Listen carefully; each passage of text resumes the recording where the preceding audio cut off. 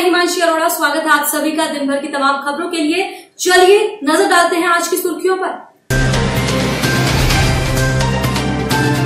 चुनाव आयोग के सूत्रों के अनुसार जम्मू कश्मीर में ईद के बाद चुनावी चाँद के आसार आठ चरणों में वोटिंग का प्लान।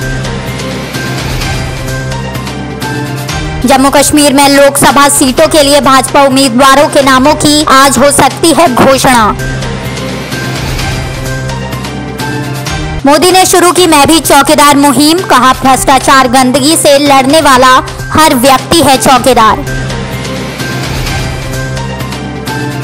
मसूद के खिलाफ चीन को मनाने में जुटे अमेरिका, फ्रांस और ब्रिटेन, तीनों इस बार निर्णायक लड़ाई के मूड में। चौथी बार रद्द हुआ प्रियंका का यूपी दौरा, यूपी के प्रदेश अध्यक्ष राज बब्बर बोले, कार्यक्रम की रूपरेखा तय नहीं।